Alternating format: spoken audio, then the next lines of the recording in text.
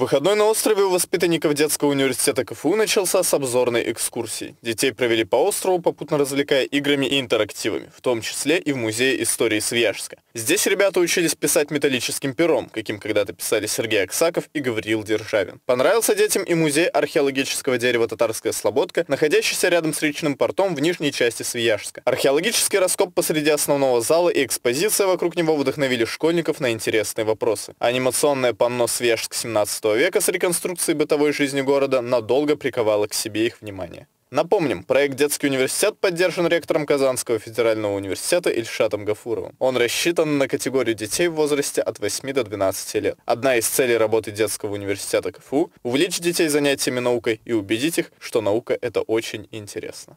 Камиль Гемоздинов, Ленардо Влетьяров, Univer News. Thank